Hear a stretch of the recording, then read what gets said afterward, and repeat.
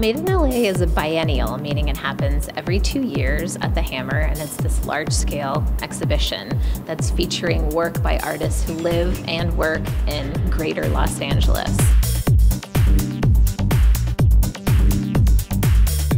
In so much of the work and the show are these kind of larger scale installations, which are really meant to be experienced in person in the round. And you really have to be here and be with the work.